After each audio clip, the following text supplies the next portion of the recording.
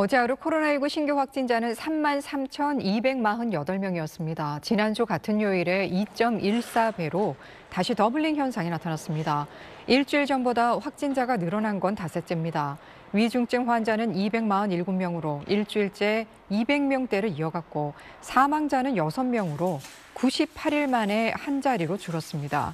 어제 정기석 국가감염병 위기대응 자문위원장은 오는 12월 초 7차 재유행이 시작될 가능성이 있다고 경고했습니다.